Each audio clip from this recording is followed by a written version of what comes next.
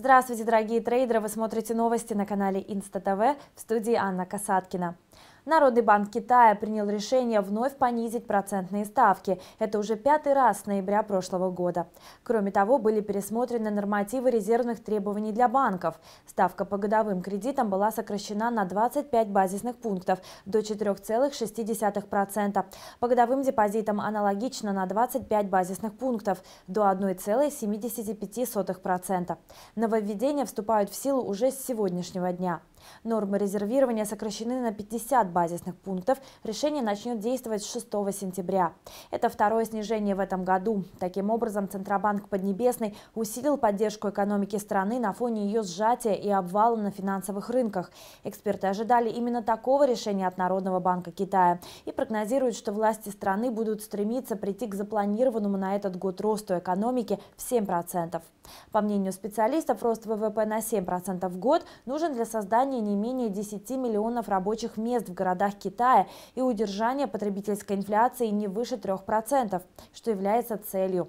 Промпроизводство, инвестиции и розничные продажи в Китае в прошлом месяце оказались хуже прогнозов. Экспорт резко упал, дефляция промышленных цен выросла.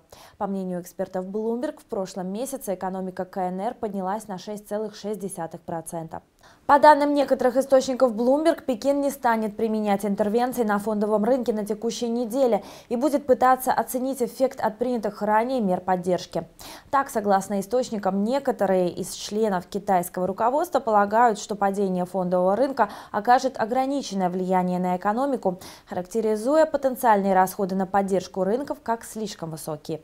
Другие считают, что рынок нуждается в интервенциях, так как обвал рынка акций создает риски для банковской системы. Существенное использование заемных средств на фондовом рынке Китая ставит финансовую систему перед рисками, которые несет в себе снижение рынка акций. После решения Народного банка Китая сократить ставки, доллар США вырос почти на 1% в корзине валют.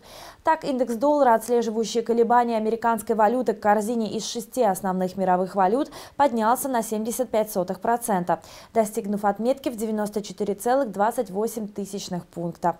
Ричард Фолкин Холл из SEB полагает, что, цитата, «сокращение ставок в КНР увеличило аппетит к риску». Однако еще рано говорить о покупке доллара, учитывая все резкие колебания, которые происходили с валютой за последние несколько дней. В долгосрочной перспективе настроения в отношении доллара оптимистичные. Конец цитаты. Ну а вы смотрели новости на канале Инста ТВ. Всего вам доброго. Увидимся через час.